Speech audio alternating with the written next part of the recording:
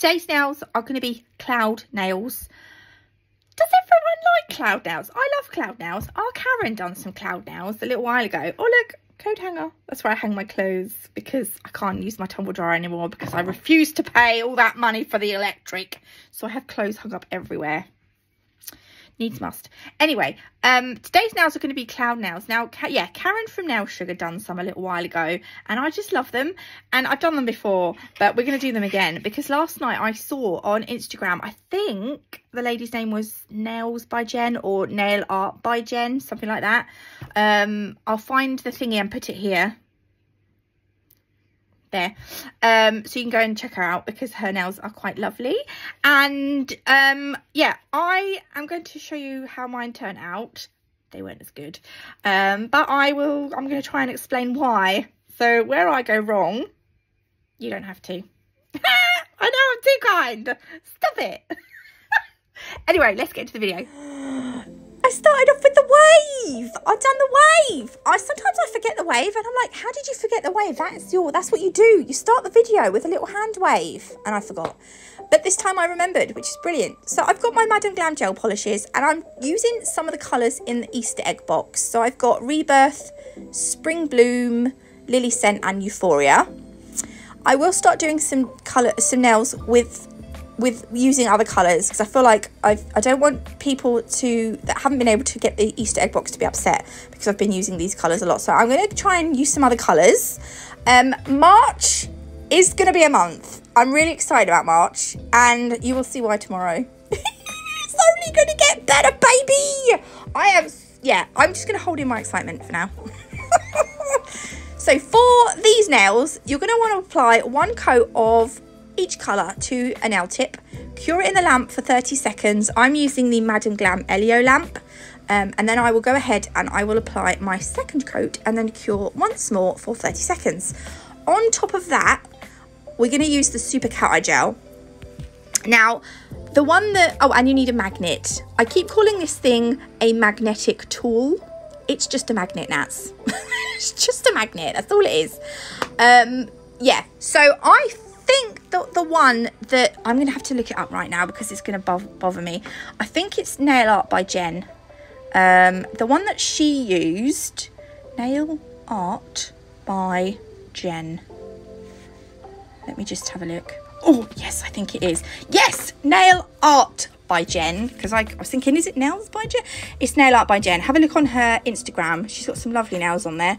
Um, I think the cat eye gel she used I don't know if it was. I don't know. She worked it better than I did this. Uh, hers ended. Right, she done hers. She pushed hers towards the free edge, which made it look lovely. Whereas I just done what I usually do. I rub the magnet down each side and then twiddle it a bit at the bottom.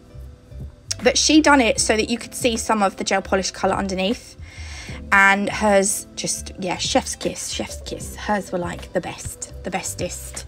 Um, but i did enjoy doing these. However i didn't make the most of utilizing the color underneath. I think that's the right vocabulary because my english is rubbish uh, so yeah, so look, you can see here, I'm just going over top. If you get to a point where you twiddle about with your pigment, with your magnet, and you don't like it, you can just run the brush over the top of the gel polish, and it kind of like resets the whole thing, so you can just start again. You do slightly see the colour underneath. It's not like you don't totally see the colour underneath. It's just that it's not as visible as Jen's. But I really like Jen's. I felt very inspired by Jen's. And yeah, and also Karen had done them ages ago not ages ago. I think it was around Christmas time. Oh, this is Angel Tears glitter. Um, it's really nice, confetti, sorry. Look how mirrory it is. It's so sparkly mirrory. You can get it from Nail Sugar. You can save 10% using my code NatMug10. You're going to need the Madam Glam application brush. And I've got a little bit of base coat on my palette. I'm sorry if you can hear my... What's that thing that spins? Washing machine. Uh, my washing machine's on a spin it's on a spin cycle. It's nearly finished so it's really noisy. So what I'm going to do is I'm taking some of the base coat and then I'm going to run some of the base coat with the confetti over the nails. And we're just going to end up with a very light sprinkling of the confetti over the nail and it's gonna look all right. It didn't I, I, I wasn't too clean on it. I didn't i wasn't too happy with how it turned out to be to be truthful.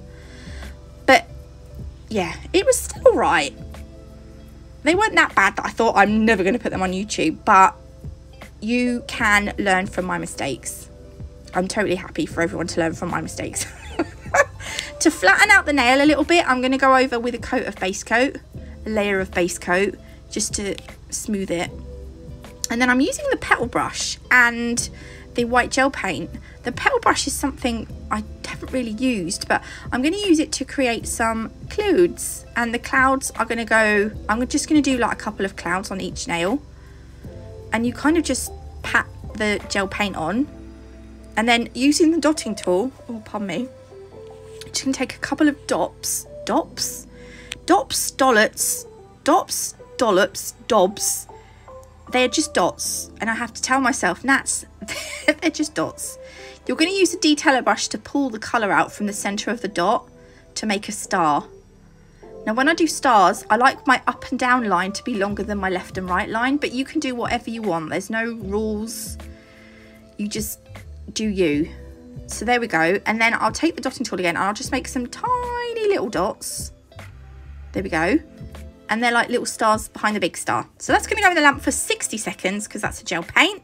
I'm going to do the same thing on one nail and then, yeah, because look, I've got velvet matte and I've got no wipe top.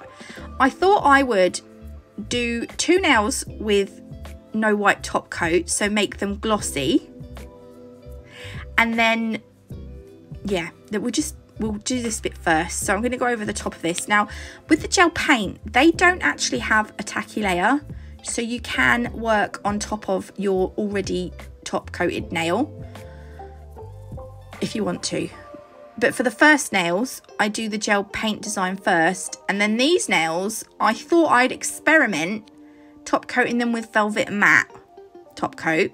I love Velvet Matte top coat so much. Normally, eight and a half, nine times out of 10, I would choose Velvet Matte over Glossy. However, look, I don't think I liked these matte. Now over, I was going to do these differently. Instead of, I, I look, I, I shiny top coated them afterwards because I didn't, I wasn't too keen on the matte. Um, but I, because the gel paint doesn't have a tacky layer, I can work my design on top of the no wipe top coat. Now I did learn something. I don't know the science behind it, but you do need to, even if you are using a no wipe top coat without a tacky layer, you still need to cleanse the the the no wipe top coat afterwards and get your client to wash their hand. I will link the article down below so you can go and check out the information. But I just think it's very important to spread awareness. Um, and also, this is how I clean my brush. So the petal brush, I'm going to pull out the excess product between a, a, a lint-free wipe on a lint-free wipe and then I've got base coat on my palette there and I'm just going to do little, look, can you see little tiny brush strokes through the base coat? And then you'll see that that product is, can you see it's pulling towards the end of the brush? So I'm going to squidge off that excess product between my wipe again, turn the brush around and then run it through the other half of the, the clean base coat. And then as you do that, it's going to pull out the rest of that gel paint. Can you see? and then you just squidge that between a lint-free wipe and then that is your brush sorted. Just pop your lid back on, keep it away from your LED light and that's done. You can use alcohol, but that will just, that will dry out your brush. Um, sometimes I do do that, but generally you should use a base coat to clean your yeah anyway.